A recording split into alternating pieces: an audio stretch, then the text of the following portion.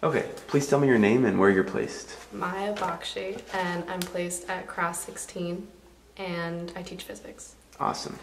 So, tell me, what is science? Um, so I said science is a way to explain what is happening in the world, um, or just like to give reasonable explanations for things that are going on. Okay, great. In your opinion, what is a scientifically literate citizen?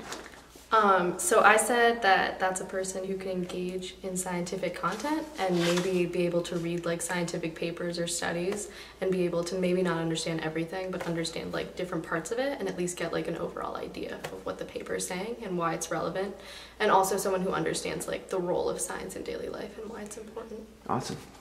And lastly, how do students best learn science?